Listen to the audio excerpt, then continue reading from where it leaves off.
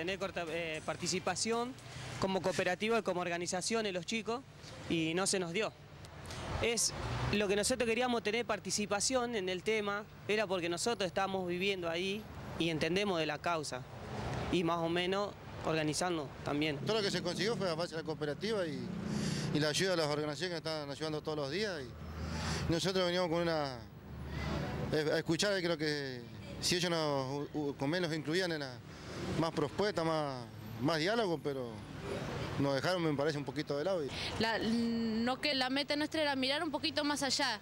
Yo sé que viene, la ayuda está buenísima, pero nosotros tenemos medios como para seguir aportando y sea mucho mejor que eso. Porque te tocaban los temas y decís eh, un techo donde sea todo saludable, como vos decís, pero, pero es un techo, ¿me entendés? Y vamos más allá de eso, de que pueda tener la comodidad, de que como se, se planteó en un momento, a ver, yo en un momento voy a llegar a viejo, suponer.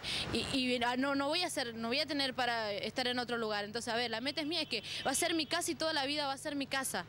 Entonces, esa era nuestra, es nuestra meta. La, la idea nuestra es de empezar a construir de cero pero ya con otra mentalidad de que ya bueno, cuando la termine de construir, sé que ya me queda la casa que, soñaba. Es un programa de autoconstrucción, van a ser ustedes mismos a través de la cooperativa los que la construyen.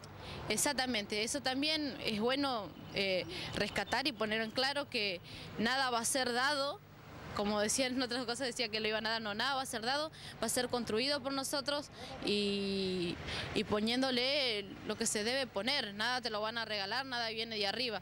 No es que vino del cielo y llegó hoy y decir, bueno, te van a dar la una casita, sino es que la venimos remando hace más de 7, 8 años y que la venimos peleando y como te dije, somos una cooperativa y una cooperativa para organizarse te lleva tiempo y ese tiempo lo vinimos poniendo con los compañeros todo momento, así que es bueno rescatar de que no estamos solamente sentados o que somos los desocupados que quieren una vivienda, también somos trabajadores y que sí trabajamos, no que viene todo de arriba. Nosotros lo que proponíamos a través de la cooperativa, una cooperativa que ya lleva dos años de existencia, es los vecinos van a poner su fuerza de trabajo, pero también quieren poner eh, sus ideas, sus sueños tienen el mismo derecho como cualquier otro ciudadano a poder pensar la casa que van a habitar como ellos decían, para toda la vida.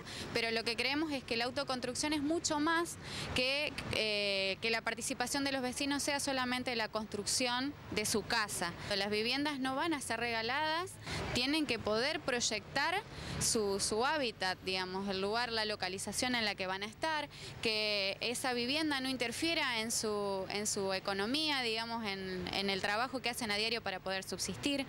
Eh, entonces lo que tratamos de hacer, eh, que en el pedido que hicimos a los concejales fue que se contemple la participación explícita en la ordenanza de los vecinos en la comisión ejecutora, para que realmente pueda estar contemplada su voz y no que solamente sea tenida en cuenta al momento de la construcción de las viviendas.